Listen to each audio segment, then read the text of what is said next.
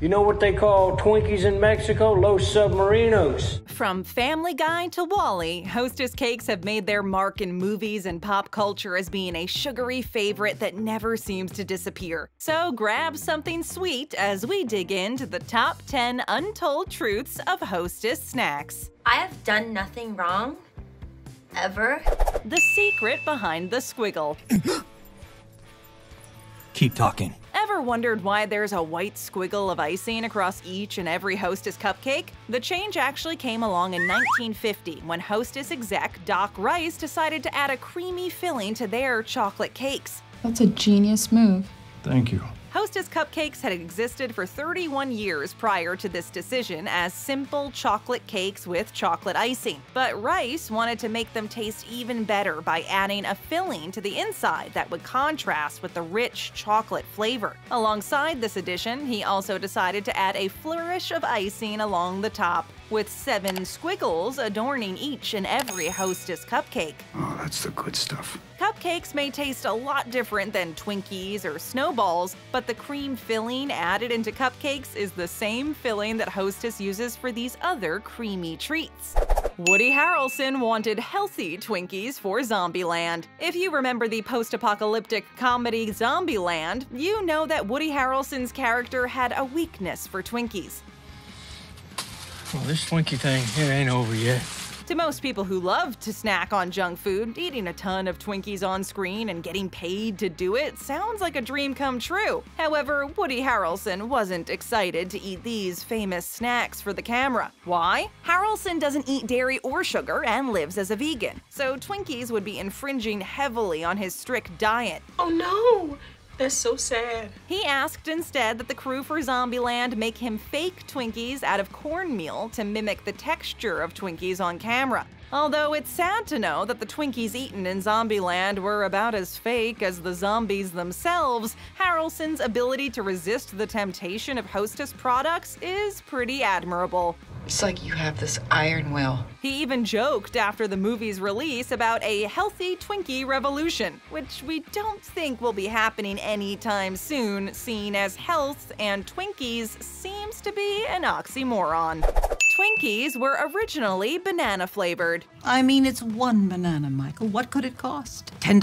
Twinkies might be known for their puffy, spongy outside and creamy vanilla insides, but these sweet treats were originally intended to taste like bananas instead. In 1930, the man credited with inventing Twinkies, James Alexander Dewar, was working for a company that would later become Hostess Brands, and came up with the idea to inject banana flavored filling into the bakery's strawberry shortcake molds, seeing as strawberries were out of season at the time and the molds were sitting unused. The Twinkies were sold as banana flavored treats until World War II, which caused a banana shortage and subsequently forced Dewar to fill these treats with vanilla flavored cream as an alternative. Which is amazing. I'm not complaining. Despite the switch, Hostess seems to like to acknowledge the banana flavored roots of their famous Twinkies, with special banana flavored variants still being widely available in department stores everywhere. They've also come out with alternative flavors for other favorites, with peanut butter ho-hos and white fudge ding-dongs being two of the new additions. We uh, see objects of great beauty and uh, we must have them. The Chocodile craze. Oh my god, these chocodiles? These chocodiles, Haley, oh my god. If you're from the East Coast, you may not be familiar with chocodiles. They're essentially a simple Twinkie that has been smothered in chocolate. Hostess stopped production of these sweet treats in their East Coast factories in the early 1990s, making them available only to customers living on the other side of the country. Since they're now being made only in select factories on the West Coast, Chocodiles have been sought after by people online for years now, who claim that this chocolatey version of the Twinkie is even better than the original. What I wouldn't give for one more chocodile. Though the only difference between these and original Twinkies is the chocolate coating the outside, super fans of the Chocodiles say that the extra layer locks in the moisture of the cake. Making it taste soft and delicious when you bite into it. Knowing how high the demand is for Chocodiles, eBay sellers have been known to sell them online for outrageous prices. It makes sense to seek out the real thing, but you're probably better off making a DIY batch of Chocodiles instead of paying an astronomical price for a single tiny snack. Sheesh, do I have to do everything myself? Snowball's secret. Snowballs have amassed a dedicated fan base, with many saying that they're the best in Hostess's lineup of snack cakes. A snowball is a chocolate cake with creamy filling, coated with marshmallow and coconut flakes. In other words, complete sugar overload. Sugar. It's a block of sugar. Snowballs came about after World War II, when rations for flour and sugar were more generous and when people were hunting down a sugar fix to celebrate the end of the war. It makes sense, considering that snowballs may very well be the most sugar-packed item Hostess has to offer. Although they look completely different than any snack cake on the market, snowballs are not as unique as they may appear. Aside from the marshmallow coating and the coconut flakes, you're essentially biting into an upside-down version of a regular Hostess cupcake. it isn't so. Hostess must have used cupcakes as the base for snowballs as a means to cut costs and make production a little easier. But being aware of this company's secret makes the concept of snowballs just a little less exciting than if they were a completely unique snack on Hostess's menu. Even though they may not be as wild and unique as everyone expected, no one can deny that we've all craved the sweet, coconutty joy of a snowball in the midst of a rough breakup or a Netflix binge. You deserve a little comfort food. They've caused some sugary scandals. We all know Hostess cakes are tasty treats that many people would go out of their way to get their hands on, but this scandal managed to take it a bit too far. Come too far. Come too far. We haven't come too far, Lynn. In 1986, a Minneapolis City Council candidate named George L. Belair was accused of bribing people to vote by serving them Twinkies, Ho-Hos, and other Hostess desserts. Twinkie, you don't need it. You don't need it, man. You do need a yodel, though. This was considered a dirty trick by the Fair Campaign Practices Act, which ended with Belair actually getting arrested for his little scheme. He was later released and pled not guilty, but we can't help but wonder why he seemed to be conveniently passing out snack foods during his campaign to a group of eligible voters. Okay, I see what you're doing. Bribing a person with food instead of money makes it harder to pinpoint whether serving them a delicious snack was a simple act of kindness or part of some sort of foul play. So it makes sense that Belair would want to use Hostess cakes as a means to get his way. Twinkies came from the Depression. Hey, take it from me, buddy. It's always darkest just before the dawn. It might seem odd to think about the history of an unassuming snack cake, but the story of how Twinkies came to be is actually a pretty interesting one. Hostess was already in business in 1930, with their cupcakes having already been sold for over a decade. However, bakery manager James Dewar wanted to expand Hostess's selection and branch out into other snacks. We can do better.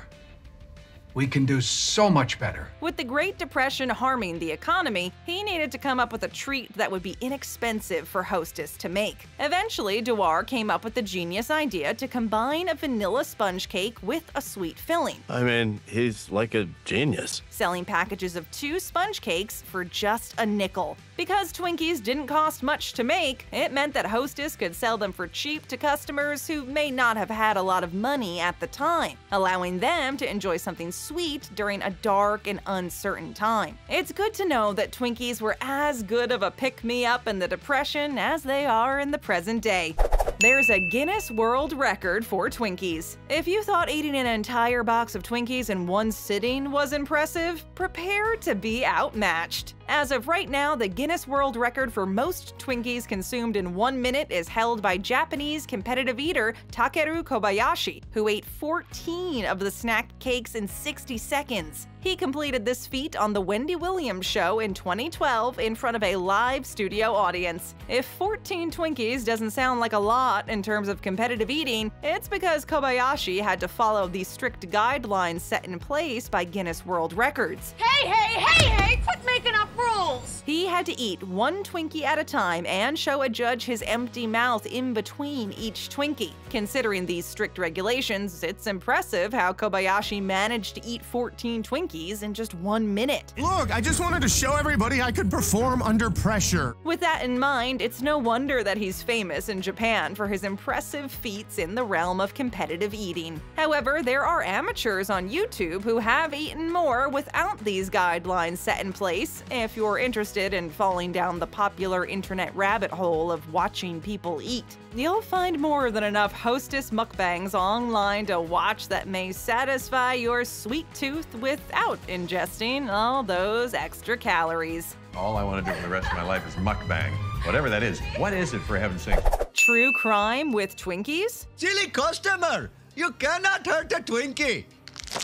Have you ever said you'd kill for a Twinkie, Snowball, or other hostess snack? Ironically enough, Twinkies have been involved as one of the main elements in a murder case. In 1979, politician Dan White used what is now widely known as the Twinkie defense after being accused of murdering San Francisco supervisor Harvey Milk. White mentioned to the court that Milk's murder was caused by the sugar high that came with eating too many Twinkies.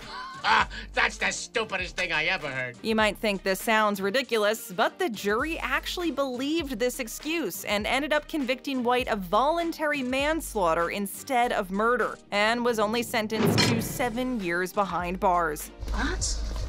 It's a disgrace. This lenient sentence sparked outrage among San Francisco's gay community, who supported Milk as both a politician and a gay man. Seeing as White was also said to be opposed to same sex marriage, it makes sense for the community to be angry about his charges being reduced. Though Milk's murder was a tragedy, it's still incredible to think that his killer used something as seemingly innocent as Twinkies to defend himself in court, making it one of the most fascinating and infamous cases of the 20th century. Seen as the Twinkie defense was definitely not the best way to advertise these snacks, we can't help but wonder how the people working at Hostess were feeling when all of this was happening. Hostess went bankrupt. In terms of money, we have no money. It may seem unbelievable that a company known for making irresistible snacks has gone through a lot of financial hardship, but Hostess has seen its fair share of rough times during its time as an established baking company. A large amount of debt in 2012 led to Hostess executives cutting employees' wages to save money, which angered many, seeing as factory workers weren't paid very much in the first place. You're despicable. Sticks and stones, love. Along with union strikes that attempted to protect workers from exploitation, Hostess items were taken off the shelves for a total of seven months. However, they ended up getting bought out for $400 million, and the new direction managed to put Hostess cakes back in grocery stores. In recent years, it seems things have turned around for Hostess. Sales are up, with Hostess raking in a net revenue of nearly $800 million in 2017. Not too shabby, huh? We've got more. Just tap that screen for another great video, hit that subscribe button, and ring that bell to join our notification squad.